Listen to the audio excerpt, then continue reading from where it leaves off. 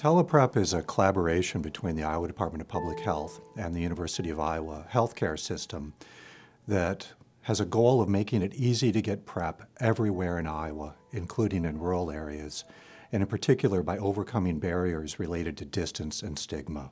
PrEP is pre-exposure prophylaxis for HIV. It is a medication that people who are vulnerable to acquiring HIV can take to prevent infection. So we work really closely with all of our funded public health test sites across the state of Iowa and with our partner services program to make sure that we're doing our best on the public health end to identify patients who would benefit from a PrEP regimen, making sure that we're providing them adequate education and then linking them to this service in a really seamless way that makes entry into the healthcare system um, just as minimal and as accessible as possible for these individuals. In Iowa, we also have HIV that exists in many of the rural counties, and people that live in rural Iowa tend not to be um, considered often when we're designing healthcare interventions and when um, people think about HIV prevention. The first step in TelePrEP happens when someone in the public health setting chats with someone in a local community who can benefit from PrEP. The next step is that that person is connected to a telephone navigator who chats with the individual on a telephone and makes sure they have all the resources they need to begin the process of getting PrEP, ranging from healthcare insurance through referral to other resources that may be useful to that individual. The next step after that is for the person to obtain laboratory studies which are needed for PrEP, and that usually happens in a local public health setting. After that, the individual chats with pharmacists here at the University of Iowa using a telemedicine platform. We do visits by video, so it's just like a FaceTime or Skype type video. And um, we do a lot of our conversations through email and text and by telephone. So really we do a lot um, virtually rather than in person. So seeing somebody over telemedicine has been surprisingly awesome. Uh, Angie is really fantastic. The setup is super easy. There's no like, there's never been any technical issues. It's always worked super fast. One of our goals when we set out was to think about how can we demedicalize PrEP delivery in a rural state like Iowa.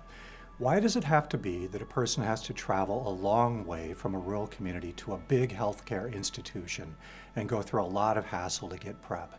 It should be possible for people to get PrEP easily, conveniently, in the community where they are. As a result of TelePrEP, I'm seeing individuals from the public health uh, sphere really access healthcare for the first time in a way that I've never seen them access it before. I found out about the program through um, the Johnson County Health Department. I was getting tested for HIV, and then um, a person there and like introduced like the tele program, and then kind of gave me more information, and it was something I had been wanting to do for a while. So I did not have access to PrEP before this program. So I tried to talk to my family doctor about PrEP, and um, she was very willing to look into it, but I wasn't really getting anywhere. She didn't know for sure where to look. Um, but when I contacted TelePrEP and started that process, it was super fast and easy, and um, I think I got on PrEP faster than I could have even started the process with my regular doctor. So our goal for TelePrEP in the next few years is first of all to make sure that we're available everywhere in Iowa so that PrEP is easy to get for all people in Iowa. We also want to think about strategies for sustaining TelePrEP in the long run.